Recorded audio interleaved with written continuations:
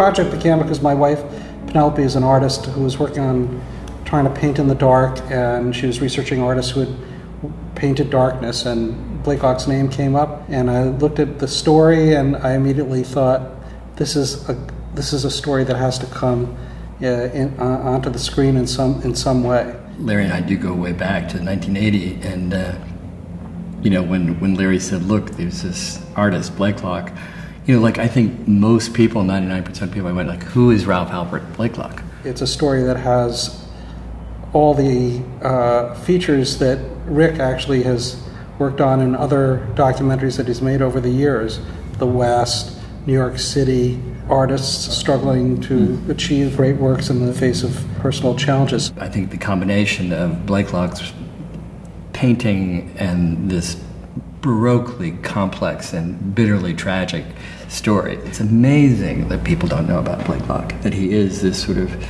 you know, the the most you know unknown great American artist, hands down.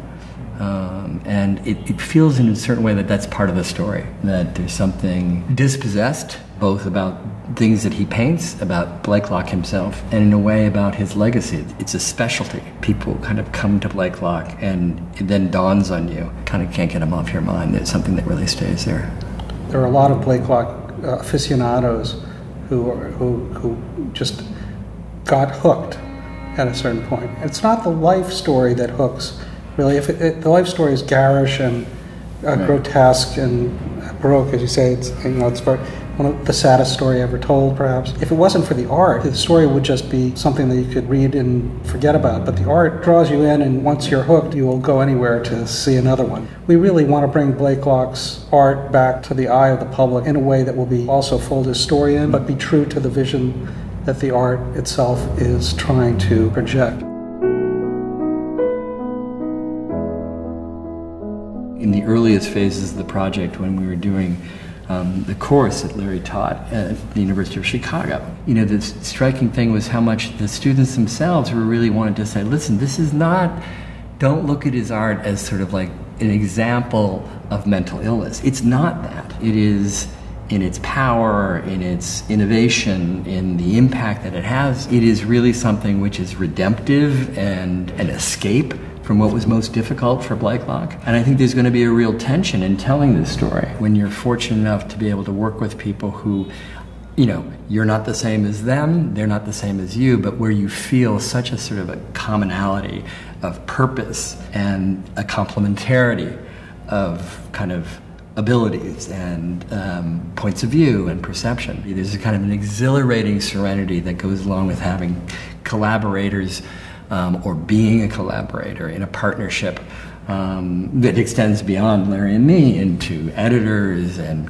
cinematographers, for example. What a blessing to be part of this project because Blakelock is so interesting, but what a blessing to be part of it with someone whom I've known, you know, going back to 1980 and our time at, you know, um, in the Wild West of the Columbia graduate program in English and comparative literature. It's really nice to be able to work with somebody you're so comfortable with. Um, because we know each other really well for, for many years. And thank the Gray Center for uh, you know helping us have the time to, to think about this together with the students in the class, uh, who are many of whom are still like hooked yeah. on the on the project. Absolutely, right. we couldn't have gotten as far as we did without without them, and of course without the support we wouldn't have gotten anywhere. So.